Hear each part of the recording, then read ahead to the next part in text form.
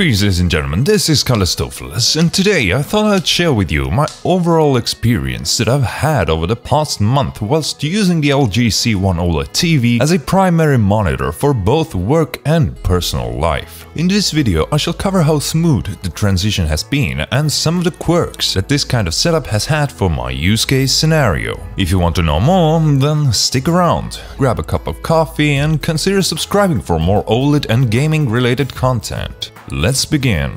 So first off, I would like to say that just wow, I'm still kind of in the honeymoon period with this TV, where I simply cannot get enough of it. Every game I've tried has looked absolutely mind-blowing when comparing them to what they were on my older VA LCD panel. I have run a few more modern games like Resident Evil 3 and 7, the new Metro Exodus and The Witcher 3, but the majority of my time has actually gone to revisiting older games from the 90s and 2000s, which I have already completed. The contrast and the colors of this panel seriously give a new life to older titles which might have looked a bit meh back in the day when I got to experience them on an LCD. With this in mind though, not everything has been just fun and games, and probably one of the biggest issues that I've come across during this time has surprisingly been Linux compatibility. How Linux sees the TV's EDID data forces the panel into YCRCB 420 color mode. With an NVIDIA GPU, you can manipulate the color space quite easily through the NVIDIA settings app. However, with an AMD GPU, the only way I have discovered this to be possible is via feeding the custom EDID to the kernel directly during boot up which is absolutely insane and doesn't work with my setup for whatever reason. After manipulating the EDID data and receiving confirmation from the dmesg that it is indeed loaded in, the screen still only shows YCRCB420. In addition to incorrect color space, FreeSync is also not recognized to be supported on Linux, whereas on Windows it's perfectly fine. If you have gotten either of those issues resolved somehow, please do let me know in the comments below. But until then, I am very sad and disappointed to say that the Linux experience is pretty abysmal with this TV. Please AMD, get your shit together. You now have really good hardware, but you're still absolutely terrible software-wise, with your lack of features on Linux and buggy, halfway supported features on Windows. Would love to remind you of OpenGL support here, but let's not get into the details of AMD software and get back on track with the C1.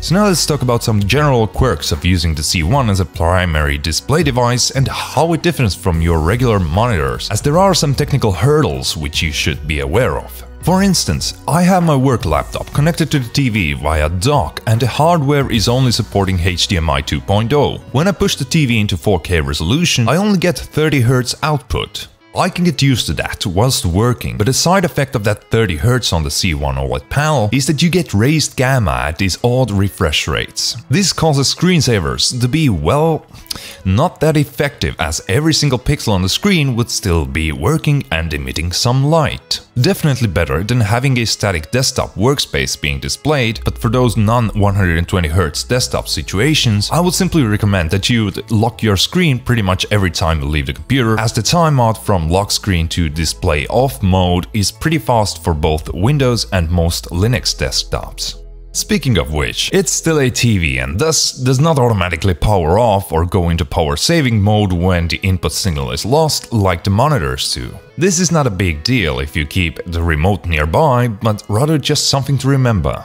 On a positive note though, I thought that after using the screen for a few weeks that I'd get terrible eye strain due to the sheer size of the display. I am glad to report that it's quite opposite in fact. With decent light control in the room and having used the panel for more than 8 hour working days rather frequently, I must say that the eye strain I do get from it is pretty much exactly the same as I did with the Asus XG35VQ ultrawide monitor. If that's a real concern for you, then based on my short experience with the panel, I would say that you shouldn't really be worried about it. But do keep in mind that I've only had the TV for a month now, and every single person perceives eye strain and similar effects differently. Speaking of the sheer size of this TV as a monitor, all sorts of adventure games and RPGs are an absolute blast to experience on an OLED. The regular 16x9 4K resolution works great for slower paced games, and when you find a game where you can force a 21x9 resolution, it is simply amazing.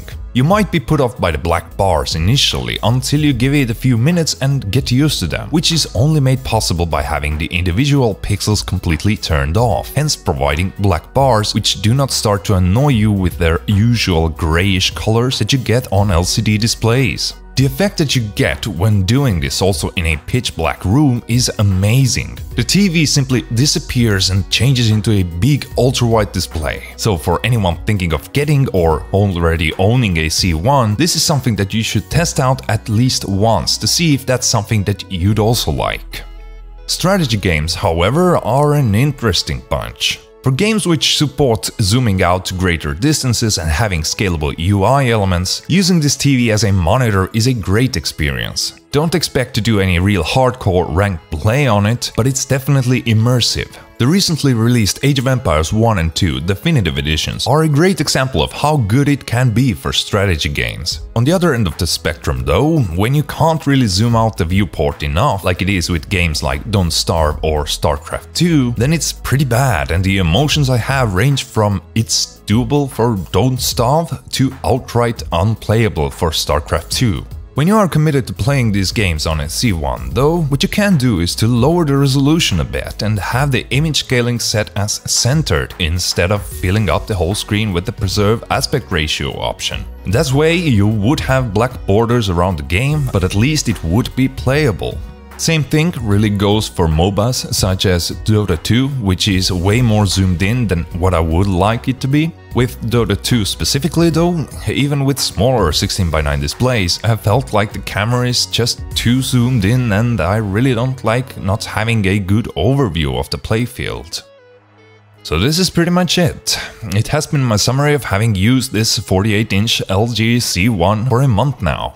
Based on my custom hour counter, I have clocked in around 315 hours of panel usage and there have been no issues with the burn-in or temporary image retention so far.